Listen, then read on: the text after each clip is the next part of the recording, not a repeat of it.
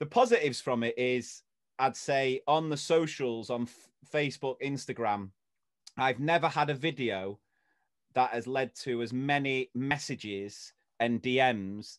I'm talking hundreds of people who said, I, I appreciate that so much. It was exactly what I've needed as, after this week, uh, which obviously then drowns out any sort of negativity.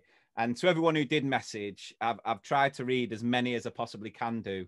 And I sincerely appreciate uh, all the messages. And I'm so grateful that it was able to help because it just feels at the minute that there's no one who's given the opportunity or the platform to speak on behalf of teachers because anyone from the unions gets shot down straight away because they work at the unions um you know no one in the in the in the limelight of tv radio anything like that. Greg james does it to be fair. He's quite a champion of teachers so i quite like him.